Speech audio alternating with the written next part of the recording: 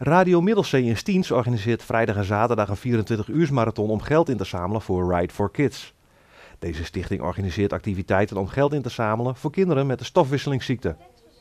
De radiomedewerkers hopen met hun actie Middelzee staat op financieel een steentje bij te kunnen dragen aan onderzoek naar medicijnen en behandeling van de ziekte. De radiomarathon loopt nog tot zaterdagmorgen 10 uur. Ja, ik heb hier twee uh, mensen die heel dicht bij uh, ons doel staan van vandaag. Dat zijn namelijk uh, de ouders van Ruben. Ik zou zeggen, stel je even voor. Ja, ik ben Bart Kraan. Ik ben de vader van Ruben Kraan. En Ruben is onze zoon en die heeft de stofwisselingsziekte. En vandaar dat wij meedoen aan Ride for Kids. Ik ga fietsen in september. En mijn nou, ik heb elke zaterdagmiddag hier een, een radioprogramma op Radio Middelzee. En ja, ik had een verjaardagscadeautje aan Miranda gegeven daarmee doe ik dit programma samen.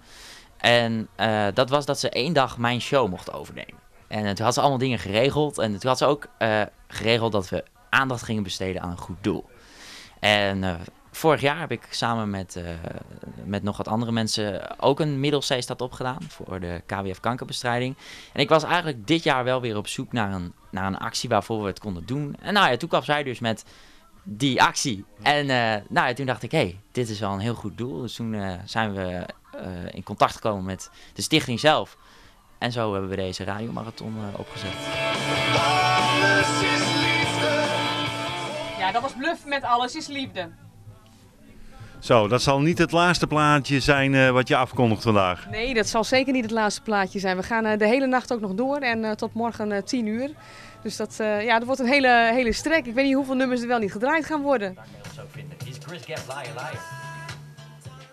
Nou, uh, voornamelijk maken we natuurlijk een 24 uur radio-uitzending. En daaromheen maken we ook televisie. Zo is er op het televisiekanaal uh, een, dus te zien hoe wij radio maken. Maar hebben we ook zo tussendoor Veiling TV. Daar bieden wij veiling-items aan. Presenteren dat een beetje al à la 3FM Series Request. Uh, nou ja, en daar kunnen mensen dan weer op bieden via onze site. Dat is actie.radiomiddelzee.nl. En uh, ja, daaromheen hebben we ook allemaal bands die komen optreden.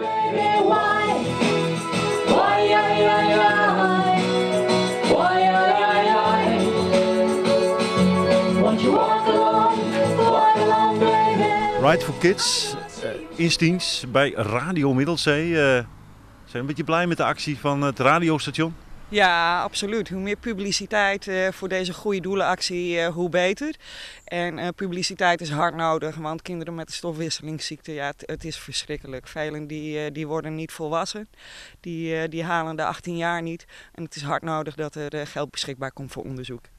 Stofwisselingsziekte, ja, wat hebben die kinderen dan precies? Um, die, die hebben een fout in hun DNA zitten, waardoor er iets misgaat met het omzetten van voeding naar energie. En daardoor krijgt het lichaam te weinig voedingsstoffen binnen en dat treft met name de vitale organen. Dus nou ja, je kan je voorstellen wat voor gevolgen dat heeft. Natuurlijk, alle ziektes zijn, uh, zijn verschrikkelijk, maar je merkt toch dat datgene wat een grotere groep mensen treft, dat is uh, nou ja, interessanter voor de farmaceutische industrie om wat mee te doen.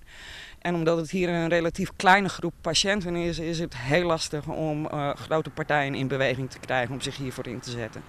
Want bestaat er al iets van een, uh, van een medi medicatie hiervoor of een, een, een, therapie? Nee, op dit moment nog niet.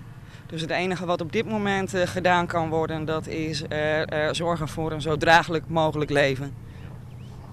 na dit ga je ook nog een keer op de fiets stappen. Hè? wat ga je precies doen? Wij gaan in, uh, in september gaan wij in de Franse Pyreneeën fietsen voor dit doel. Dan gaan wij in drie dagen uh, eh, 10 kilometer klimmen op de fiets, dus uh, eh, 10.000 hoogtemeters. En dat wordt een, dat wordt een fikse uitdaging.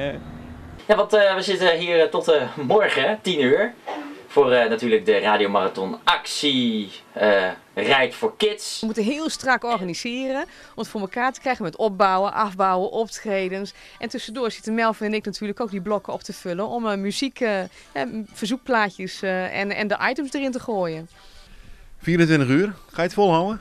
Jawel, ja, ik ga het zeker volhouden. ik ben nu nog echt heel erg fit, maar ja, we hebben er nu nog maar één uurtje op zitten. Maar ja, ik, ik denk dat we 10 uur wel halen, echt wel, ja.